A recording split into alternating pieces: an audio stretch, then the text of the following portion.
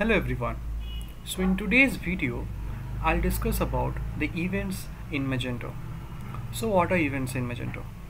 So events are basically the activities which we perform in a website. Let's say adding products to the cart, signing in, or creating a new account, or updating the cart. So by default, Magento provide a list of events. So what we need to do, we simply have to use those events and implement our own logic into it. So without any further ado, let's get started.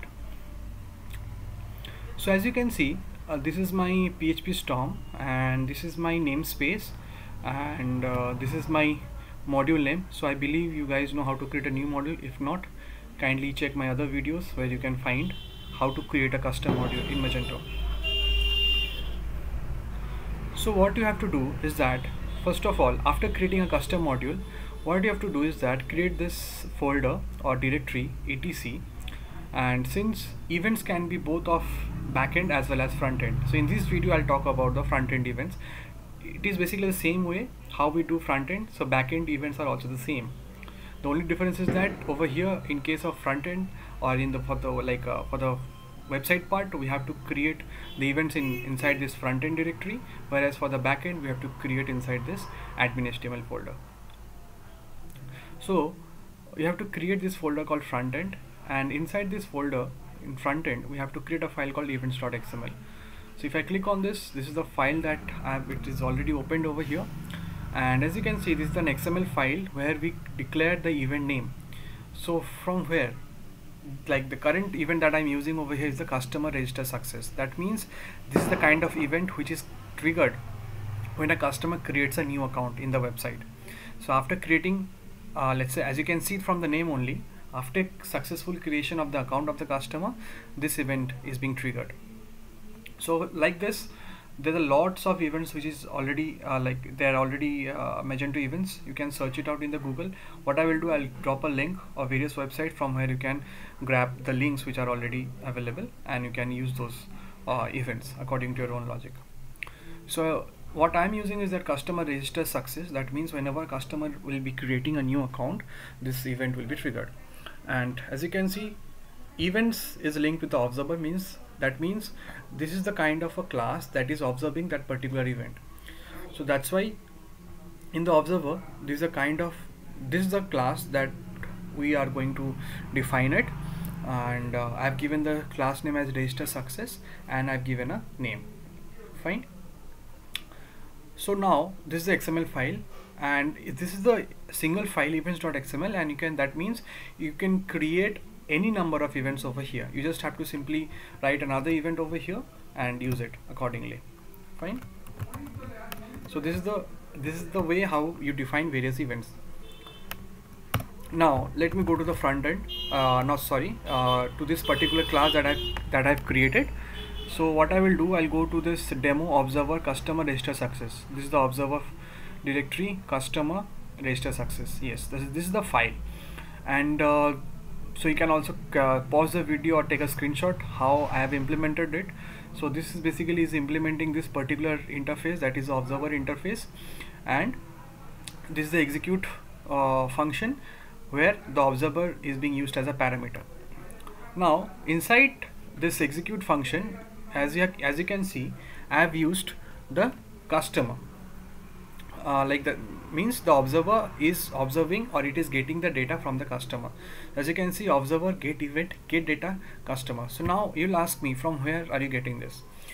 So this is what I will say over here is that so this is the common part okay for any event if you use. So this is the common part.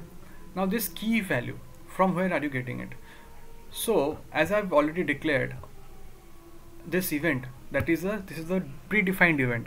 That means it corresponds to a particular class. Okay? So now if I go to Google and if I uh, this one uh, yeah. So this is one particular website from where you can get the events. So now if you see I've searched for this customer register success. Okay? So these are the events name and this is the uh, core file where it is declared. Okay? So if you can see so this is where the customer register success is being declared. So this is vendor magento module customer controller account create post.php so I've already opened this file. Now if you see what you have to simply is that you can do is that you have to simply copy it and search it in this particular file. Sorry. Okay? Now see so event manager dispatched. That means this create post.php is the file where this particular event has been dispatched. And this is the customer register success which I have used. Okay?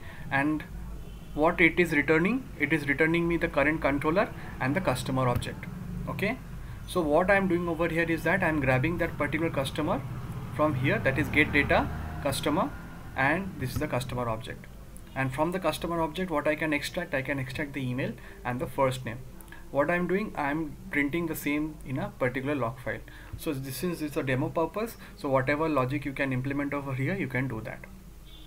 So for the timing what I have done is that I have captured the customer object and I'm trying to print the email and the first name of the customer who is creating a new account in our website. And I'm doing I'm pasting it in a log file. Okay now I'll go to the website.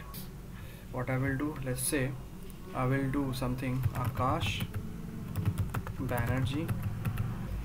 Akash Banerjee at the rate yokemail.com account has been created over here. So what I will do I'll straight away go to the log file to see what information I have captured. So this is the log file and this is the test log and you can see customer details. It has captured the email and the first name which I have given over here.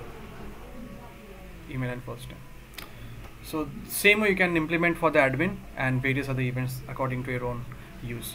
So with that I believe uh, I have uh, able to explain the events in Magento. So you can try it out and uh, and see what happens.